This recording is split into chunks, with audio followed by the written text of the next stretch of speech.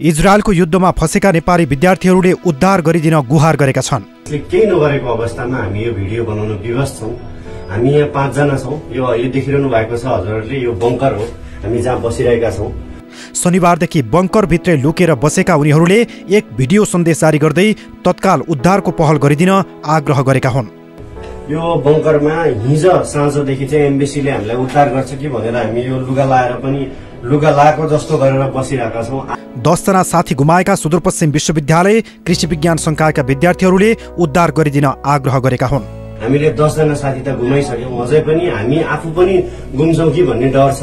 आफूहरू तीन दिनदेखि मानसिक र शारीरिक पीडाबाट गुज्रिरहेको भन्दै चाँडो भन्दा चाँडो उद्धार गरिदिन उनले आग्रह गरेका छन्। प्लिज बिन्ती छ।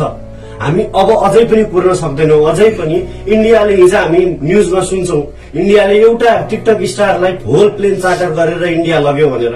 हाम्रो नेपाल सरकारले हामी यत्रो विद्यार्थीलाई हामी कृषि क्षेत्रमा केही पनि गर्न सक्दैनौँ हो। विद्यार्थीहरूको नेतृत्व गरेका लिडर विपिन सुवेदीले आफूहरूको अवस्था निकै नाजुक रहेको भिडियो मार्फत बताएका छन्। राज्यले यो गरिरहेछ त्यो गरिरहेछ। हजुरहरू मिटिङ गर्नु सायद जे गर्नुहोस् तर तिन दिन भयो त्यो पनि त सोचिदिनुहोस्। हामीलाई केही भएको छैन तिमीहरूलाई इन्जुरी भएको छैन भनेर इन्जुरी र त्यो मेन्टल स्थितिले हामी कुन स्टेजमा छौँ हामी? आज दिनभरिमा उद्धार हुन्छ कि भन्ने आशले यो भिडियो बनाएको उनको भनाइ छ।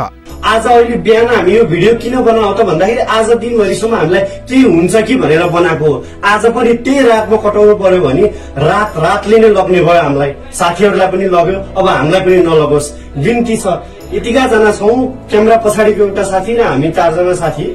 उहाँहरू पनि बोल्न सक्नुहुन्न। उहाँहरू सँगै आएको उहाँहरूको आफै पाँच वर्षदेखि बसिरहेको साथीहरू मरिसके। बङ्करभित्र रहँदा कुन बेला आतंकवादीहरू आएर मार्ने हो भन्नेमा कुनै टुङ्गो नरहेको उनको भनाइ छ।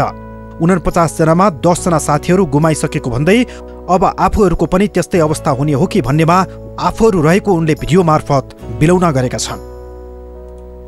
साथीभाइ आफन्तले हामीलाई आफ्नो साथीहरूलाई सँगै राख्न सकेनौँ मेरा भाइ बहिनीहरूलाई मार्यो मेरा छोराहरूलाई मार्यो भनेर हामीलाई मेसेज गर्नुहुन्छ। हामीलाई ती मेसेजहरू कस्ता भइरहेछन् होला? बुझ्न सक्छ सरकारले? हामीलाई कस्तो भइरहेछ होला?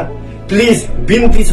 चाहे जेसुकै होस् हामीलाई छिटो भन्दा छिटो यहाँबाट उद्धार गरोस् नेपाल फर्काइदियोस्। हामीलाई मिटिङ भइरहेछ यो भइरहेछ केही सुन्नु छैन।